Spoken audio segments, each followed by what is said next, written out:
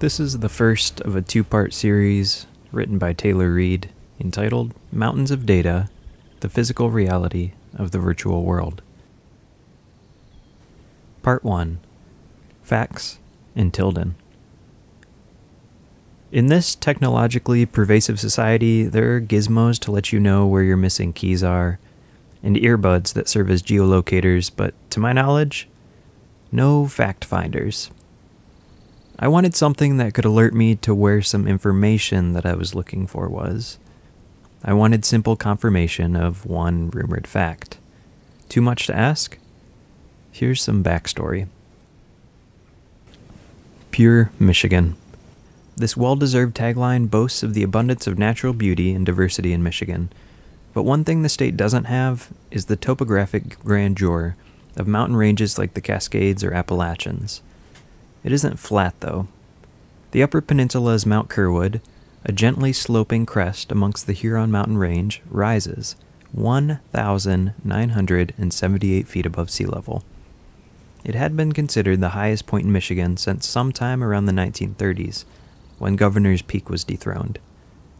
In 1982, it lost its standing as the highest point in Michigan. Six miles northeast of Curwood, about halfway between Copper Harbor and Marquette, lies a patch of land owned by the American timber giant Weyerhaeuser.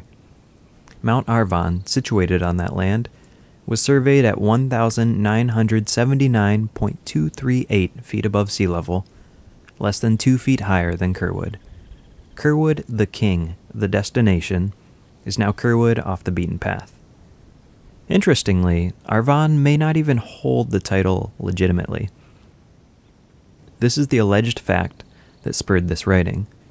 I came across reports revealing that technically the highest point in Michigan is a man made creation close to Ishpeming, rising 2,000 feet above sea level.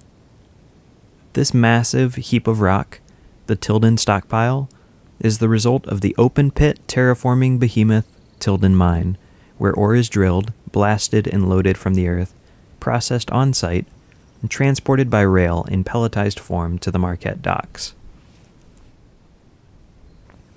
The 320 ton trucks used to shuttle the materials are the size of houses. The tires themselves are 12 feet tall. Those sound like the makings of the highest point in the state. I tried to run this fact by NOAA, who referred me to USGS, who I'm still waiting to hear from. I also left several voicemail messages with the crew at Tilden. I suspect that it's simply speculation picked up from the 1989 four book, two volume collection Superior Heartland, A Backwoods History by Fred Rydholm. From there, perhaps the rumor was repeated on web forums, picked up by a news outlet or two, and possibly at some point commented upon in a since removed post by NOAA. But I don't know that for certain. I do know that the Tilden mine pit itself was 1,980 feet deep as of January of 2021, a mountain inverted.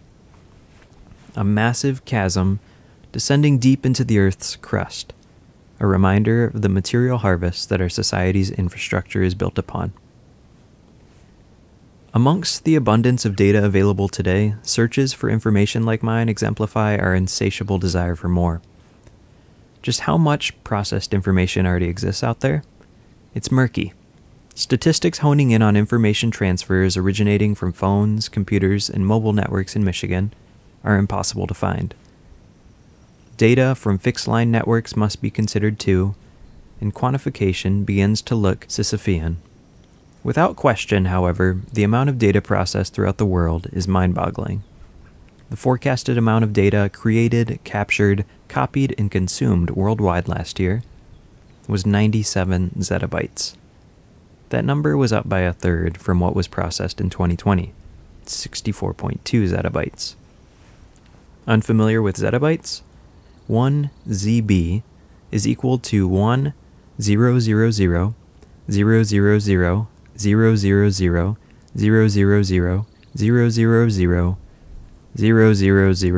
000 000 000 bytes.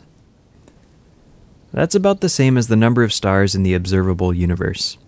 And like the universe, this number of processed bytes is projected to expand rapidly nearly doubling to a staggering 181 zettabytes by 2025. These bytes allow for GPS functionality, atomic level research, full self driving cars, targeted advertisements, machine automation, global climate model creation, architectural rendering, shipping optimization, robot surgeries, seeing eye doorbells, and speaking to loved ones half a world away. They enabled me to pull the above numbers together, and if trends in AI and supercomputing continue, they'll know what information I'd like to see long before I even consider it. The inkling of images we have of the very number of stars in the galaxy stems from advances in storing and communicating data.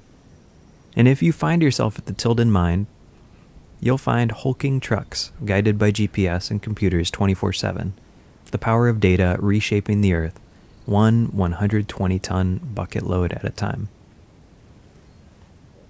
It's easy to think that all of this information, which clearly is shaping our lived experience every single day, exists in our heads and in the cloud and on tiny footprint free microchips.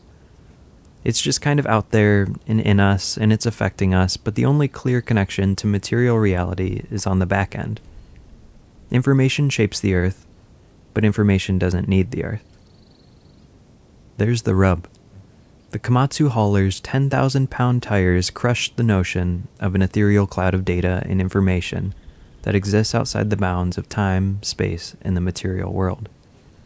Storage of data requires physical infrastructure.